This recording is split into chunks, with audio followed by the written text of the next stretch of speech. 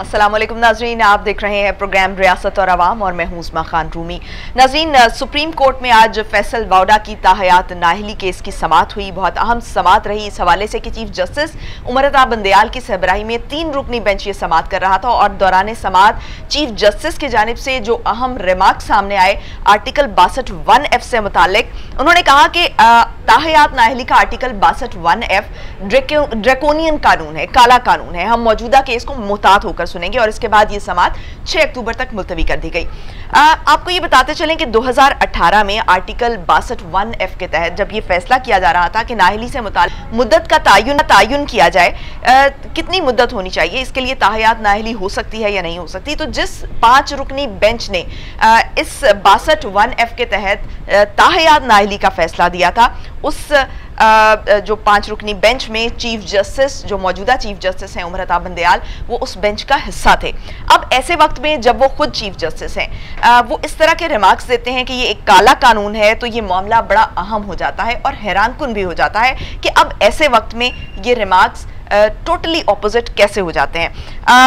बहुत से सवाल इससे जन्म लेते हैं कि क्या उस वक्त जो फैसला लिया गया आ, वो गलत था या क्या ऐसे सरकमस्टेंसेस थे जिनके तहत ये ये फैसला लिया गया।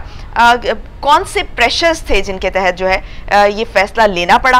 आ, इस पर भी बहुत से अहम सवाल उठाए जा सकते हैं। आज फवाद चौधरी साहब ने भी इस हवाले से कहा कि आर्टिकल बासठ वन एफ़ की तशरी करना होगी। मुल्क में जुडिशल असलाहत की ज़रूरत है और जो कि नई हुकूमत करेगी। मजीद उन्होंने कहा कि बदकिस्मती से पाकिस्तान में एस्टेब्लिश का एस्टेब्लिशमेंट का सियासी किरदार है। आर्टिकल बासठ वन एफ़ माजी से ही हम देखते हैं कि बहुत तनकीद की जद में रहा है।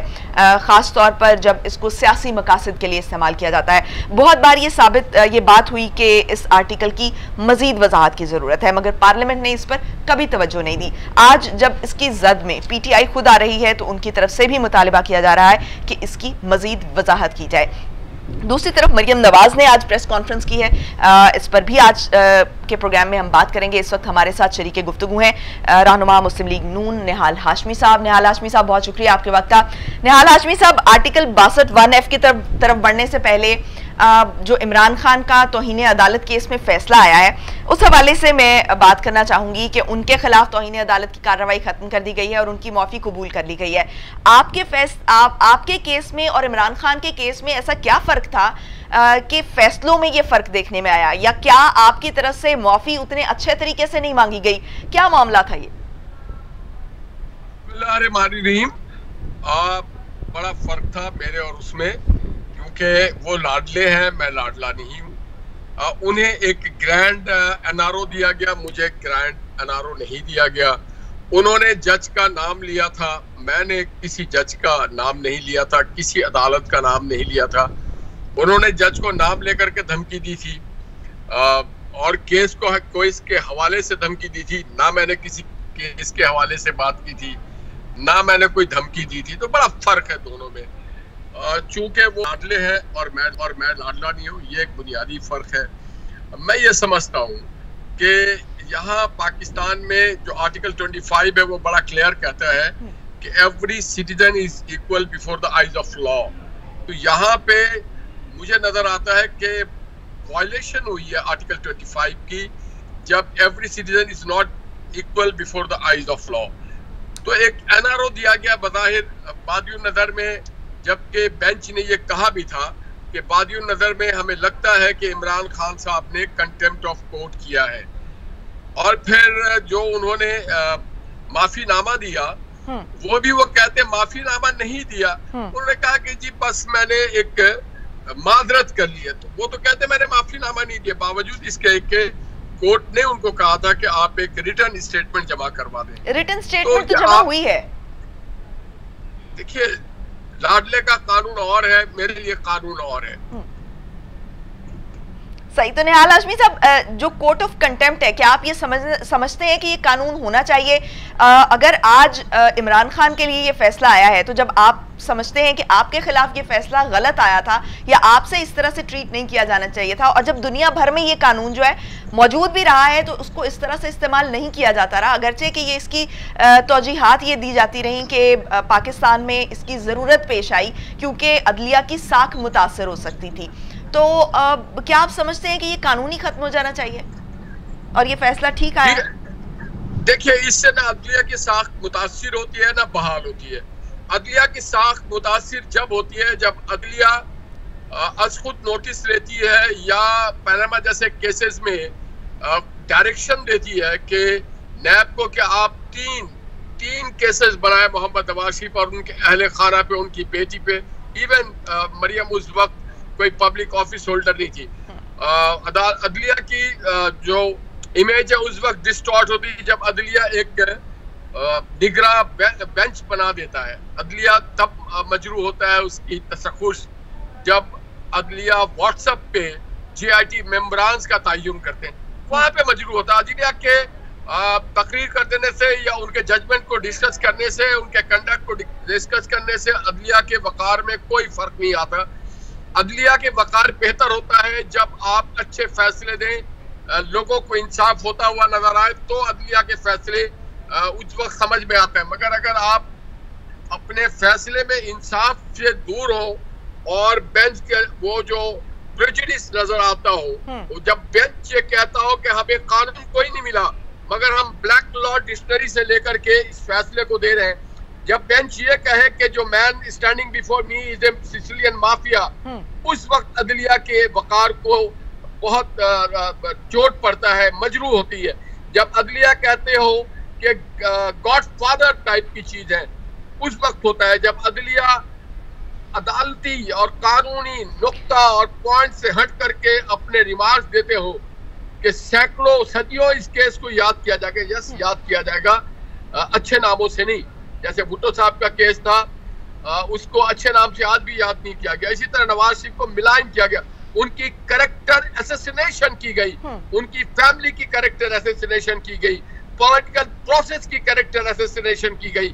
और बेंच ने अपने हदूद से बाहर निकल के जाकर के बातें की। हम्म। सही। अच्छा निहाल हाशमी साहब हमारे साथ इस वक्त मौजूद हैं। मारूफ सहाफ़ी और तजियाकार अनवर रज़ा साहब। अनवर रज़ा साहब आज एक अहम केस की समात हुई है और बासठ वन एफ़ पर जो रिमार्क्स आए हैं चीफ जस्टिस के मजीद इस समात में क्या मुकालमा रहा? ज़रा उससे आगाह कीजिएगा।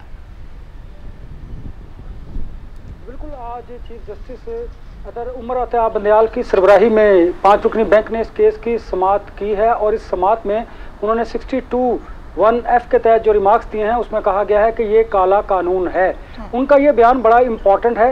क्योंकि इससे पहले इसी कानून के तहत सबक वजी अजम नवाज़ शरीफ साहब और जहांगीर तीन साहब जो हैं हाँ। वो ताहयात नहली की तलवार उन पर लटक रही है हाँ। और मुझे महसूस ये हो रहा है कि इससे फवाद चौधरी साहब ने भी कमेंट किया था और उन्होंने कहा कि ये बिल्कुल काला कानून है और उसे नहीं होना चाहिए तो फिर ये अगर काला कानून इस वक्त अदलिया को महसूस हुआ है तो ये उस वक्त भी महसूस होना चाहिए था जब इसकी जद में नवाज़ शरीफ साहब और जहांगीर तरीन साहब आए थे अब मुझे लगता यूँ है कि शायद किसी और की बारी है ताहयात नाहल होने की। इसी वजह से इस तरह की गुफ्तु जो है पोलिटिकली की जा रही है। ताहम ये डिटर्मन करना सुप्रीम कोर्ट का काम है। उन्हें देखना चाहिए कि उनके फैसले जो हैं हम्म। वो पब्लिकली उनको चैलेंज ना किया जा सके हम्म। बल्कि ऐसे फैसले होने चाहिए जिनकी नज़ीरें मिलती हैं और ऐसे फैसले अदलिया के फैसले ही बोलते हैं। और 62 एफ़ जो है इसके तहत सादिक और अमीन की बात भी सामने आती है। इसी वजह से नवाज़ शरीफ साहब और जहांगीर तरीन साहब जो हैं वो ताहयात नाहल हुए हैं। अलबत्त इसको अभी आगे चलकर देखने की ज़रूरत है कि क्या इलेक्शन कमीशन ऑफ़ पाकिस्तान के पास ये इख्तियार भी है कि वो किसी को ताहयात नाहल कर सकते हैं ऐसा भी सुप्रीम कोर्ट में कहा गया है उन्हें इस बात को भी जांचने की ज़रूरत है हम्म। और ये भी जांचने की ज़रूरत है कि क्या अब मुस्तबिल में भी इस जो माजी में फ़ैसले किए गए थे उनको बरकरार रखा जाता है या फिर उस अपने सुप्रीम कोर्ट के जो फैसले माजी में थे उनको अब तब्दील किया जा सकता है हम्म। नज़रिया ज़रूरत हर दौर में मौजूद रहा इसी वजह से शायद जो नाकतीन हैं, जो पोलिटिकल पार्टीज़ हैं, जब उनके हक में फ़ैसले आते हैं तो वो सुप्रीम कोर्ट ऑफ़ पाकिस्तान और अदलिया से मुतक बड़ी अच्छी गुफ्तु करते हैं और जो फैसले उनसे, उनके ख़िलाफ़ आते हैं, उस पर उन्हें तनकीद का निशाना भी बनाया जाता है। लेकिन ये सोचने और समझने की ज़रूरत है सुप्रीम कोर्ट को, अदलिया को, कि उनके फ़ैसलों से ऐसा तासर नहीं जाना चाहिए जिससे ये तासर लिया जा सके कि शायद किसी ना किसी को फेवर किया जा रहा है। क्योंकि निहाल हाशमी साहब की जो मैंने गुफ्तु सुनी है, उससे यही तासर लिया जा रहा है कि कंटेम्प्ट केस में इमरान खान साहब के साथ शायद इंसाफ के तकाजे पूरे नहीं किए गए। ये तासर उनकी तरफ़ से और उनकी सियासी जो इतिहाद है, उनकी तरफ़ से ये कायम किया जा रहा है। तो ये सोचने की ज़रूरत है, हमारे इदारों को, क्योंकि अगर इदारों से मुतालिक कोई तनकीद की जाती है तो उन्हें फिर सोचना होगा, उन्हें ये समझना होगा कि हमें अपने फैसलों के ज़रिए इंसाफ का बोलबाला करना होगा। क्योंकि ये हमेशा से होता है कि जिसके हक़ में आप फैसला देंगे, वो तो अदलिया की तारीफ़ करेगा, लेकिन जिसके ख़िलाफ़ आप कोई फ़ैसला करेंगे, वो आप पर तनकीद भी करेगा। लेकिन इसके साथ साथ ज़रूरी ये है कि अदलिया को अब वो फैसले करने की ज़रूरत है, जिससे मुल्क में इंसाफ का बोलबाला हो और इदारे हकीकी मायनों में मज़बूत हों। वो इसी सूरत होंगे जब आप तमाम पोलिटिकल पार्टीज़ को तमाम जो सुप्रीम कोर्ट से अदलिया से रजू करते हैं उनको एक तराजू में तोलेंगे। तो फिर मुमकिन है कि अवाम का भी ट्रस्ट जो है बड़ी बड़ी इंपॉर्टेंट बात कि जब एक ही केस में एक फैसला और आता है दूसरा और आता है तो तनाज़े का शिकार हो जाता है। और जजेस के फैसलों से हम देखते हैं कि मुल्क का सियासी मुस्तकबिल वाजे होता है। ब्रेक से वापस आएँगे और फिर हम इस पर बात करेंगे कि जो अभी आर्टिकल बासठ वन दो हज़ार अठारह में इस पर मुख्तलिफ़ फैसला लिया गया, लेकिन आज जो चीफ जस्टिस हैं, उसी पर मुख्तलिफ़ रिमार्क्स दे रहे हैं तो इसके सियासी असरात क्या होंगे? पोलिटिकली इसको जो है वो हम किस तरह से कर कर देखेंगे? इस पर बात करेंगे एक ब्रेक के बाद। स्टेट्यूट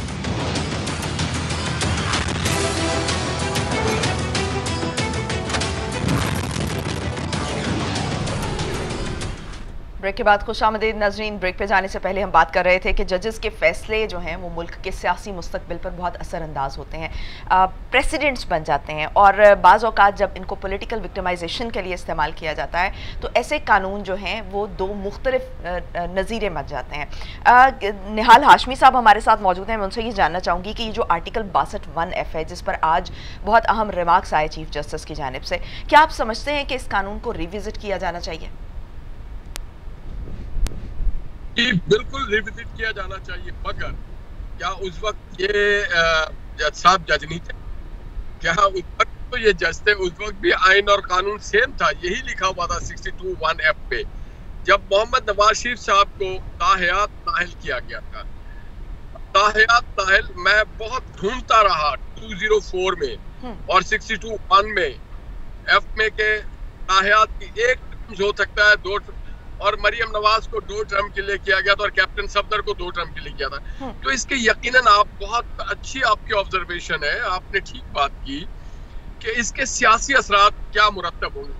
बहुत भयानक मुरतब हो चुके हैं हमारे मुल्क में क्योंकि इसी के असरात के वजह से एक ऐसी हुकूमत आई जिसे आज हम उसको भुगत रहे थे। हम्म। हमारे यहाँ से सी पैक चला गया हमारी फॉरेन पॉलिसी खराब हो गई। हमारे दोस्त ममालिक से हमारे ताल्लुकात बहुत कशीदा हो गए। काफ़ी पाकिस्तानी कौम ने अदा की। हम्म। एक गलत पॉलिटिकल डिसीज़न के वजह से। अगर एक टर्म के लिए होते मियाँ नवाज़ शरीफ साहब नाहन तो शायद दोबारा वो प्राइम मिनिस्टर होते। हम्म। मगर उन्होंने कहा कि हमेशा हमेशा के लिए आ, उनकी पार्टी उनकी फैमिली को सियासत से बेदखल कर दिया जाए। और उसका नतीजा ये हुआ कि मुल्क में एक सियासी अबतरी हो गई। मुल्क में एक सियासी खलफशार हो गया हम्म। मुल्क तौर पे डिट्रैक्ट हो गया हम्म। पाकिस्तान की मेजर पार्टी को अगर आप उसके ट्रैक से हटा देंगे तो इस तरह के मामला होते हैं हम्म। तो ये सिर्फ़ एक फर्द पे असर नहीं होता इससे उस मुल्क के सियासी निज़ाम पे बहुत भारी असर होता है और निज़ाम बहुत भारी कीमत अदा कर रही होती है और जो अफरा तफरी है वो सब होता देखिए कानून इसलिए नहीं बनाया जाता है कि आप किसी पार्टी को या फर्द को या किसी ग्रुप को आपने पनिशमेंट देना है इसला के लिए बनाया जाता है ताकि इसको मिसयूज ना किया जाए हम्म। बदकिस्मती से बदकिस्मती से हमारे मुल्क में इसे सदा के तौर पे इस्तेमाल किया गया मिसयूज किया गया ब्लैक हम्म। से लिया गया जो सदा बनती नहीं थी वो सदाएँ दी गई उसके बाद सुप्रीम कोर्ट ने ये बात सुप्रीम कोर्ट बार एसोसिएशन ने इस बात को का इदराक किया हम्म। और उन्होंने कहा कि इस कानून को बदलना चाहिए और आज सुप्रीम कोर्ट में सुप्रीम कोर्ट बार एसोसिएशन की एक दरखास्त जेर समात है हम्म। जिसमें उन्होंने इस्तदा की है कि लाइफ टाइम जो है बैन वो हटाया जाए और लाइफ टाइम बैन सिर्फ़ मोहम्मद नवाज़ शरीफ साहब के ऊपर थी सही लेकिन निहाल हाशमी साहब कानून की तब्दीली के लिए तो पार्लियामेंट में बैठना होगा और तमाम सियासी जमातों को इकट्ठे बैठना होगा तभी ये कानून में तब्दीली आ सकती है। तो क्या आप समझते हैं कि इस मामले में सब जमातें जो है वो इकट्ठी होंगी पार्लियामेंट में और इस मामले का सोल्यूशन की तरफ़ जाएँगी? देखिए आपको सोल्यूशन तो ढूंढना है ना। हमने हर बार देखिए अठारहवीं तरमीम पाकिस्तान में होना मुमकिन नहीं था मगर हमने एक साथ बैठे हाँ। हमने बैठ करके ये फैसला किया कि पाकिस्तान की बेहतरी के लिए हमने एक साथ बैठना है ड्यू डिलिब्रेशन हुई बहस तो तहमीद हुई और हमने पास किया हाँ। तो जो भी चीज़ पाकिस्तान के लिए बेहतर हो हाँ। पाकिस्तान के सियासी निज़ाम के लिए बेहतर हो पाकिस्तान के आइन के लिए बेहतर हो और जब सियासी निज़ाम बेहतर होगा किसी मुल्क का हाँ। तो उसकी माशी निज़ाम भी बेहतर होगा उसकी मीशत भी बेहतर होगी उसके समाजी निज़ाम भी बेहतर होगा उसके हर निज़ाम में एक खूबसूरती आएगी एक तब्दीली आएगी। बदकिस्मती से हमारे बाज इदारों में खास करके हमारे बेंचों में जो इंसाफ के जो लोग जिम्मेदार है वहाँ पे इस बात का अदराक नहीं है। हम्म। हर किसी ने अपने आप को ऑथोरिटेरियन समझ लिया है हम्म। कि मैंने पाकिस्तान की इसलाह करनी है मैंने पाकिस्तान को सही ट्रैक पे डालना है। ये उनकी ज़िम्मेदारी नहीं है। पाकिस्तान को सही ट्रैक पे डालने की ज़िम्मेदारी पाकिस्तान के अवाम की है। पाकिस्तान अवाम जिसको सही वोट डालेंगे वही पाकिस्तान के को सही ट्रैक पे लेके जाएगा ना किसी दिफाई इदारे का काम है ना किसी सिविलियन इदारे का काम है ना अदालती इदारों का काम है पाकिस्तान की आवाम की ज़िम्मेदारी है कि वो सही ट्रैक पे डाले मेजोरिटी डिसाइड करे वो एहतसाब करे वो ऑथोरिटेरियन हम्म। रिजीम का भी एहतसाब करे हम्म। आमरीत का भी एहतसाब करे हम्म। कोई गलत काम करे उसका भी एहतसाब करे ये पाकिस्तान के आवाम का राइट है किसी को वो बाहर कर दे इलेक्शन से किसी को वो सियासत से बाहर कर दे आवाम का राइट है। मगर होता क्या है कि हमारे यहाँ हम आवाम के राइट को भी सल्व कर लेते हैं हम अपने पावर से ज़्यादा पावर सल्व कर लेते हैं और हम बियॉन्ड माई जुरिस्डिक्शन जो मेरी ड्यूटी है फराज है ज़िम्मेदारी है उससे बहुत बाहर चले जाते हैं और जाके आ, अपने अपने पावर को एक्सरसाइज करते हैं। तो मैं समझता हूँ कि ये सिर्फ़ आवाम की ज़िम्मेदारी है वो जो फैसले सादिर करे हम्म। जिसमें कौमों की मुस्तबिल तय होती है हम्म। ये ज़िम्मेदारी उनकी नहीं होती है कि जो लोग किसी इदारों में बैठे होते हैं या आइन की तर्जुमानी हम्म। करते हैं तो मैं ये समझता हूँ कि ये इसके लिए हम बैठने को तैयार हैं हम बैठेंगे अब चूँकि इमरान खान पे ये बात आ गई है हम्म। अब चूँकि ये फैसल वाडा पे बात आ गई फवाद चौधरी तो साहब भी कह रहे हैं कि तमाम सियासी जमातों को इस पर बैठने की ज़रूरत है तो एक इंडिकेशन तो दे दिया गया है उनकी तरफ़ से कि हम साथ बैठने के लिए तैयार हैं हम तो साथ बैठने के लिए तैयार है मगर पॉइंट ये है हम्म। कि जो लोग इस पे फिर अमल दरामद कराते हैं वो फिर लाइफ टाइम बैन कर देते हैं हम्म। उनके लिए भी समझने की ज़रूरत है कि पाकिस्तान के आवाम के फैसले को रद्द नहीं करना चाहिए। पार्लियामेंट के फैसले को रद्द नहीं करना चाहिए। ठीक निहाल आशमी साहब इस पर फवाद चौधरी साहब ने भी बात की है उस पर मैं आऊँगी। इससे पहले मैं अनवर रजा साहब से ये जानना चाहूँगी। अनवर रजा ये बताइएगा कि आप क्या देखते हैं कि इस केस के कुछ लॉजिकल कंक्लूजन की तरफ़ बढ़ेंगे हम कुछ लॉजिकल जो डिसीजंस हैं वो लिए जा सकते हैं इसके बाद हम एक्सपेक्ट कर सकते हैं और इसके पॉलिटिकल असरात क्या होंगे? देखिए ये तो सुप्रीम कोर्ट का अभी रिमार्क्स आए हैं अभी इस फैसले को उन्होंने बड़े जाँच पड़ताल इसकी करनी है और उस पर उन्होंने कहा कि हम थारोली इस केस को सुनेंगे हम्म। और आज वक्त की कमी की वजह से इनको आज समात भी मुलतवी कर दी गई हम्म। इसमें देखना यह है कि क्या इस फैसले की वजह से जो माजी में इसी बुनियाद पर सिक्सटी टू वन एफ़ के तहत फैसला किया गया है कि क्या किसी शख्स को को इसकी जद में आ रहा है उसको बचाया जा रहा है या फिर देखना ये होगा कि अभी मुमकिन है कि इस तरह के रिमार्क्स के बाद कोई ऐसा फैसला है कि मुमकिन है कि ये काला कानून जो अब कहा जा रहा है हम्म। इसको इम्प्लीमेंट कर दिया जाए क्योंकि माजी में भी मैंने बार बार कहा कि दो लोग इसकी जद में आ चुके हैं हम्म। यही पॉलिटिकल पार्टीज़ जो हैं ये सवाल उठा रही हैं कि क्या किसी शख्स को बचाने के लिए इसको रिविजिट कानून को करने की ज़रूरत है हम्म। इसलिए इसको काला कानून कहा जा रहा है इस पर सवाल तो उठ रहे हैं लेकिन अभी चूँकि समात हो रही है इसको तफसीली थारोली इसका सुप्रीम कोर्ट ने जायज़ा लेना है उसके बाद जब ये डिसीज़न आएगा फिर पता चलेगा कि सिक्सटी टू वन एफ़ की जो तलवार है वो आइंदा आने वाली जो पॉलिटिशियंस हैं उन पर भी लटक रही है या नहीं हम्म। क्योंकि ये बड़ा मिलियन डॉलर क्वेश्चन है इसी बात पर जो तमाम पोलिटिकल पार्टीज़ हैं हम्म। वो वरिड भी हैं क्योंकि उनका कहना ये है कि शायद इस फैसले से कि सिक्सटी टू वन एफ़ अगर काला कानून है तो इसको फिर 2018 में भी काला कानून ही करार दिया जाना चाहिए था उस वक्त फिर दो जो पॉलिटिकल शख्सियात थी वो ताहयात नाहल ना होती। हाँ, हाँ अलबत् अब मुमकिन है कि इस फैसले को रिविज़िट किया जा सके और अब मुमकिन है कि जो पॉलिटिशियंस हैं उनको सजा तो उनकी कोई तजवीज़ की जा सके कि पाँच साल के लिए आप नहल किया जा सकता है। आपको ताहयात नहल नहीं किया जा सकता आपको सियासत से दूर नहीं रखा जा सकता। इसका फ़ायदा ये होगा कि नवाज़ शरीफ साहब जहांगीर तरीन जो नाहल हैं तायात के लिए वो भी दोबारा पोलिटिकल सिस्टम में आ सकते हैं मुमकिन है कि उनको दोबारा सिस्टम में लाने के लिए अब रिविजिट किया जाए इस कानून को और मुमकिन ये भी है हम्म। कि शायद किसी को बचाने के लिए इस कानून में तरमीम की जा सकती है या ऐसा फैसला सामने आ सकता है खैर ये तो आने वाला वक्त हमें बताएगा जब फैसला सामने आएगा। ताहम, ऐसे कवानीन कि जिनके बारे में पब्लिकली ये कहा जाए कि ये कानून शायद पॉलिटिकल विक्टमाइजेशन के लिए इस्तेमाल किया जा रहा है। इससे इदारों की जो साख है, वो मुतासर होती है। अब इदारों को ये सोचना होगा कि उन्हें ऐसे फैसले देने हैं कि जिससे सियासी इंतकाम नज़र ना आता हो, बल्कि जो सियासत पर उनके फैसलों के असरात हैं, वो पॉजिटिवली नज़र आते हों। ये बात बिल्कुल दुरुस्त है कि हर इदारे को अपनी डोमेन में रहकर काम करने की ज़रूरत है। ऐसा नहीं है कि जब आप किसी दूसरे पॉलिटिशियंस का काम है अवाम उन्हें इलेक्ट करते हैं उन्होंने लेजिस्लेशन करनी है। सुप्रीम कोर्ट का काम है कि पार्लियामेंट के कानून की तशरी करे क्योंकि कानून बनाना जो है वो सियासतदानों का काम है पार्लियामेंट का काम है। उसकी तशरी जो है वो सुप्रीम कोर्ट ऑफ़ पाकिस्तान का काम है। इसी तरह आपको पता है एग्जेक्टिव का अपना काम है लेकिन जब आप अपनी हदूद और कयूद को पार करते हैं उसी वजह से ये खराबियाँ पैदा होती हैं शायद इसी तरफ़ निशानदेही ये पॉलिटिशियंस भी कर रहे हैं अब देखना यह है कि सिक्सटी टू वन एफ़ कि जो आइंदा समात है उसमें सुप्रीम कोर्ट के रिमार्क्स क्या होंगे उसका फैसला क्या होगा हम्म। आने वाले दिनों में जो फैसला होगा सिक्स टू वन एफ़ फैसल वाडा की, की, की दरख्वास्त थी उस हाँ। हवाले से उस पर देखना होगा कि ये फैसला क्या आता है अगर तो ये फैसला नहली का ताहियात ख़त्म होता है तो ये हम्म। तो निहाल आशमी साहब आप और आपकी जमात के लिए खुशाइन बात है कि नवाज़ शरीफ साहब जो हैं वो दोबारा सियासत में आ सकते हैं। और दूसरा ये भी है कि जहांगीर तरीन साहब भी उन पर भी ताहयात नहली की हम्म। बात है तो प्लेइंग फ़ील्ड होगी सबके लिए।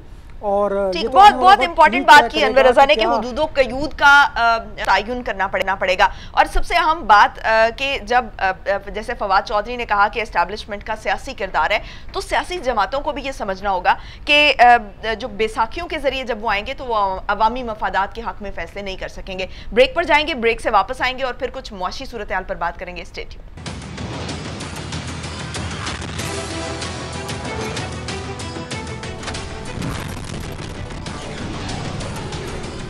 ब्रेक के बाद खुश आमदेद नजरीन आईएमएफ के साथ माहदे के तहत हुकूमत जो है उसको पेट्रोलियम मसनूआत पर लेवी को बतदरीज पचास रुपए फ़ी लीटर तक बढ़ाना है।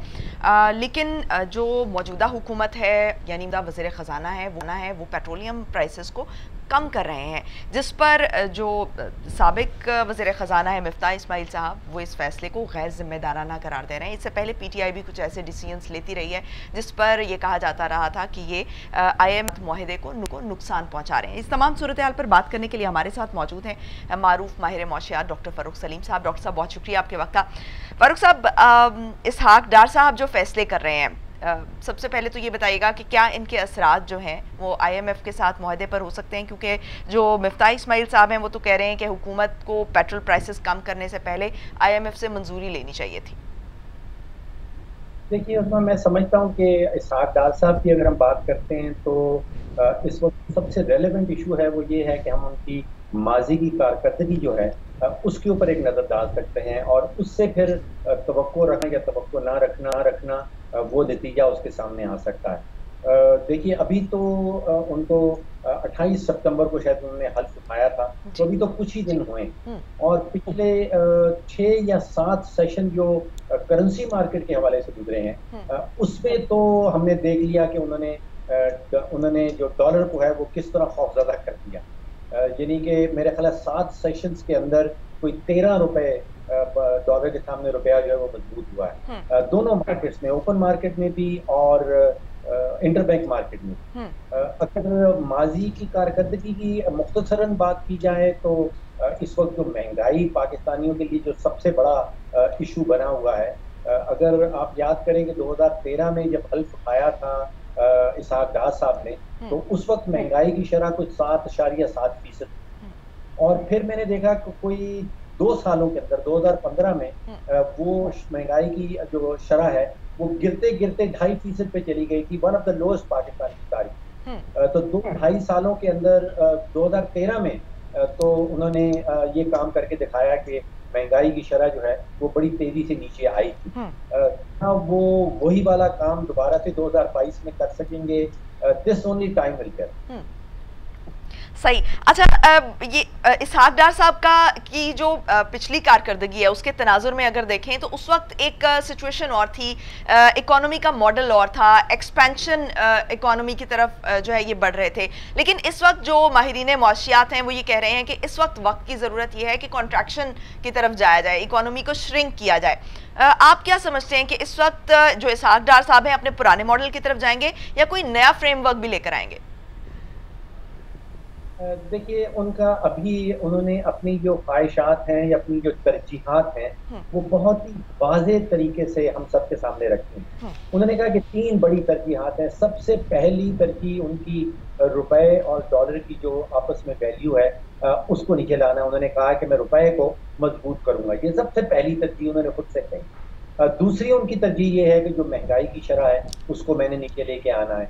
और तीसरी तरजीह उन्होंने बताया है कि शरह सूद को आ, मैंने नीचे लेके आना हम्म। तो जो पहला वाला वादा था रुपी डॉलर के हवाले से हम्म। वो पिछले दस ग्यारह दिन में तो मैं समझता हूँ कि उसमें आ, आ, कुछ सदाकत नज़र आ रही हम्म। क्या वो अगले कुछ हफ्तों में भी ऐसा कर पाएँगे ये बहुत बड़ा सवाल है और आपने बिल्कुल ठीक जो है नुकता उठाया है कि 2013 में जब वो कामयाब रहे थे उस वक्त एक तो स्टेट बैंक के पास खजाना बहुत बड़ा हम्म। कोई 19 अरब डॉलर पड़े थे और वो सागदार साहब की जो जो मॉडल की आपने ज़िक्र किया वो स्टेट बैंक से डॉलर निकालते थे और मार्केट में हम्म। फेंके जाते थे उससे रुपया जो है वो मज़बूत हो जाता था हम्म। क्या अब वो वाला मॉडल चल पाएगा मेरा ख्याल है कि वो वाला मॉडल अब नहीं चल पाएगा उसकी दो वजूहत एक वजह यह है कि स्टेट बैंक के पास डॉलर नहीं है। हम्म। उस वक्त उन्नीस बिलियन थे अब हमें बताया जा रहा है कि तकरीबन आठ बिलियन डॉलर पड़े हैं। तो खजाना तकरीबन आप समझिए कि खाली है। समझिए हम्म। चार पाँच हफ्तों से ज़्यादा की इम्पोर्ट के पैसे नहीं हम्म। तो वो वाला तरीका कार तो अब अब आजमाया नहीं जा सकता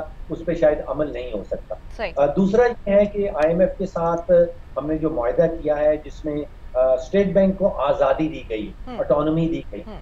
तो पहले तो फाइनेंस मिनिस्ट्री जो थी या वजारत ख़जाना जो थी वो असरअंदाज हो जाती थी बड़े आसान तरीके के साथ। अब शायद वो काम ना हो पाए। सही। अच्छा अनवर रजा आप क्या देख रहे हैं कि जब से इसहाक डार साहब ने वज़ीर ख़जाना का हल्फ उठाया है मार्केट में क्या सूरत हाल है? मार्केट में इसके क्या इम्पैक्ट्स देख रहे हैं आप?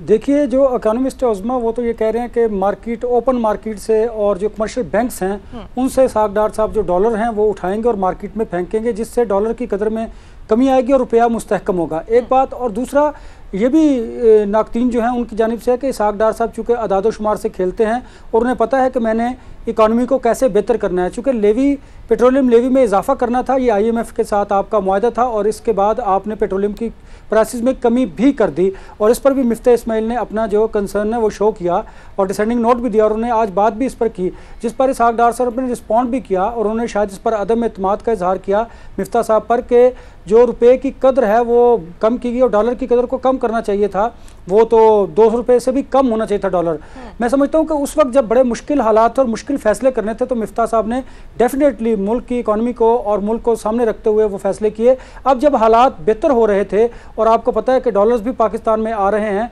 इससे फिर इसाकडार साहब आकर मुझे लगता है कि उन्हें जो टास्क दिया गया है नवाज़ शरीफ साहब की जानब से कि डॉलर को आपने दो सौ तक लेके आना है पेट्रोलियम प्राइसिस जो हैं।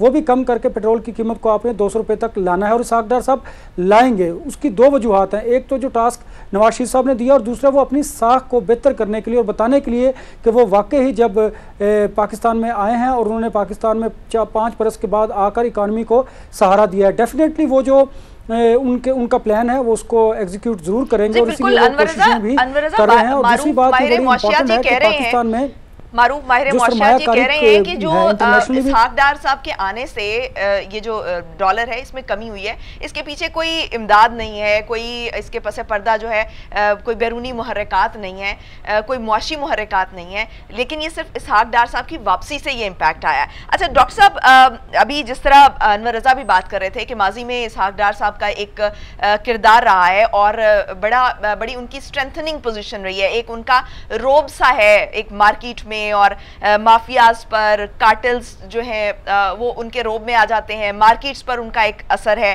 ताजर जो है, ये इन सबसे जो है वो बेहतर डील कर सकते हैं। इसहाक डार साहब का ऐसा तासुर मौजूद है। तो क्या आप समझते हैं कि ऐसी सूरत हाल में कि जब अभी कुछ अर्सा पहले तक बहुत मुश्किल फैसले लिए जा रहे थे, सख्त फैसले लिए जा रहे थे अवाम जिनसे काफ़ी तंग हो रही थी, क्या अब इसहाक डार साहब की वापसी पर अवाम ये एक्सपेक्ट करें कि इसहाक साहब अवामी मफाद में फैसले करेंगे? और क्या वो इस पोजीशन में है? जी तवक्कुआत तो बहुत सारी लगा बैठे हैं। पीएमएलएन के अंदर से बहुत तवक्कुआत हैं। बाकी पाकिस्तानियों की बहुत तवक्कुआत हैं। ये तो रखी है कि शायद रुपए और डॉलर के सामने रुपया मजीद मज़बूत हो जाएगा। महँगाई कम हो जाएगी लोगों को रिलीफ मिलने लगेगा। इलेक्शन की तैयारी होनी है जो इलेक्शन की तो हैं पी एम एल एन से। हम्म। मैं समझ रहा हूँ कि जो इस वक्त एनवायरनमेंट है वो नहायत ही चैलेंजिंग एनवायरनमेंट शॉर्ट टर्म के ऊपर तो हमने देखा कि डार साहब को कुछ कामयाबी हुई है खास तौर पे करेंसी मार्केट के हवाले से और स्टॉक मार्केट के हवाले से हम्म। लेकिन हम्म। सबसे बड़ा सवाल जो मेरे दिन में आता है कि क्या ये शॉर्ट टर्म में जो कामयाबी हुई है हम्म। इसको सस्टेन किया जा सकता है यानी कि इसको मीडियम टर्म में ले जाया जा सकता है क्या अगले कुछ महीनों में इसको तब्दील किया जा सकता है मुझे लग बड़ा मुश्किल रहा है। कि ये शॉर्ट टर्म की जो कामयाबियाँ हैं ये सस्टेनेबल हों। और उनकी बहुत सारी वजूहत हैं। देखिए एक बहुत बड़ी वजह तो ये है कि एक आलमी लहर चल रही है जिसमें महँगाई है। एक आलमी लहर चल रही है जिसमें तकरीबन सारे ही ममालिक जो है वो अपनी शराय सूद बढ़ा रहे हैं। हम्म। बजाय कम करते हैं हम्म। तो वो जो हम्म। तीसरे नंबर पे तरजीह है साहब डार साहब की के शराय सूद को नीचे लेके आना है वो आप समझिए कि जो दुनिया की लहर चल रही है उसके खिलाफ हम तैरने की कोशिश कर रहे होंगे। फिर हमने देखा कि जो पाउंड का रेट है डॉलर के सामने वो तारीखी तौर पे कमज़ोर तरीन पाउंड हो गया। हम्म। यानी कि तकरीबन एक बटा एक बराबर की पैरिटी पे पाउंड पहुँच गया। मुझे मैंने जो ग्राफ्स देख रहा था 1800 में तकरीबन पाँच डॉलर आपको चाहिए होते थे एक पाउंड खरीदने के लिए। हम्म। फिर जब सिविल वॉर हो गई आपको 10 डॉलर चाहिए होते थे एक पाउंड के लिए। और अब ये बराबर में आ गया। हम्म। जर्मन जापान के सामने जैपनीज येन की डॉलर ने बेतहाशा पिटाई की। यूरो के सामने डॉलर ने यूरो की बेतहाशा पिटाई की। है तो दुनिया भर में डॉलर जो है वो सारी करेंसी की पिटाई कर रहा है। हम क्या दुनिया की लहर के खिलाफ तैर पाएँगे और रुपए को मजीद मज़बूत कर पाएँगे देखिए एक एलिमेंट तो सट्टे सट्टेबाजी का है हम्म। जिसका आपने ज़िक्र किया जो हमें नज़र आ रहा था रुपए के अंदर हम्म। तो वो सट्टेबाजों को तो भगा दिया हम्म। इसाक डाल साहब के डर से वो भाग गए हैं चाहे वो ओपन मार्केट में थे या वो बैंकों के ट्रेजरी डिपार्टमेंट में बैठे हुए थे अब एक बुनियादी कमज़ोरी है रुपए की जो हमारे तजारती खसारे की वजह से है। तो वो तजारती खसारे में तो भी कोई खातिर खा कमी नहीं आ रही। तो वो जो सट्टाबाज हैं उनको भगा दिया है उसके नतीजे में रुपया मज़बूत हुआ है। लेकिन जो बुनियादी कमज़ोरी है रुपए की वो अभी तक दूर नहीं हुई। अच्छा डॉक्टर साहब ये इंटरेस्ट रेट कम करना पेट्रोल प्राइसेस कम करना और ओवरऑल इस मीशत की तो हम बात करते रहते हैं। लेकिन जो लॉन्ग टर्म इकोनॉमी को बेहतर करने के फैसले हैं, उनमें कुछ ऐसे डिसीजंस भी हैं जो कि आप आवाम के मफाद में भी करते हैं और एक एक्सेस टू कैपिटल बढ़ा देते हैं और इसमें बैंक्स का एक बड़ा किरदार है। बैंक्स की जो एक मोनोपली है, क्या हम एक्सपेक्ट करें कि इसहाकदार साहब इस बार आ, उस पर कुछ तवज्जो देंगे कि बैंक्स की मुनापली को ख़त्म किया जाए और ज़्यादा से ज़्यादा बैंक्स बनाए जाएँ ताकि जो है और इनको बैंक्स बनाने की जो शराइ हैं उनको थोड़ा आसान कर दिया जाए ताकि बैंक्स भी ज़्यादा बने और ये एक्सेस टू कैपिटल जो है वो आम लोगों का जो है वो कैपिटल की तरफ़ एक्सेस हो सके।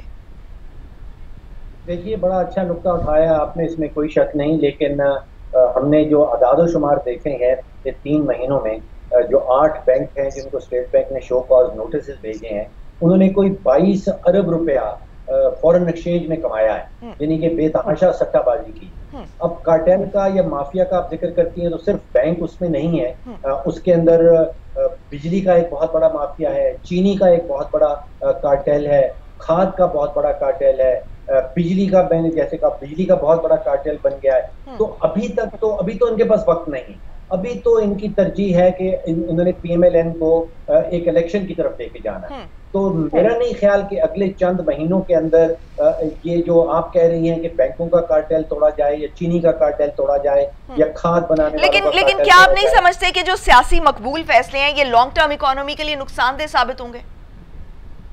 देखिए इस वक्त तो पीएमएलएन की और वज़ीर खजाना साहब की तरजीह यही होगी कि किसी तरह अवाम को रिलीफ हम्म। दिया जाए फ़िज़िकल स्पेस कहीं से क्रिएट की जाए हम्म। और पैसे फेंके जाए रुपए को मजीद मज़बूत किया जाए हम्म। अब देखिए रुपए की मजबूती के ऊपर हम फोकस तो बहुत करते हैं लेकिन जैसे जैसे रुपया मज़बूत होता जाता है हमारी एक्सपोर्ट इंडस्ट्री जो है वो कम्पीट नहीं कर पाएगी दुनिया भर से एक्सपोर्ट इंडस्ट्री के लिए रुपया स्ट्रांग हो जाना।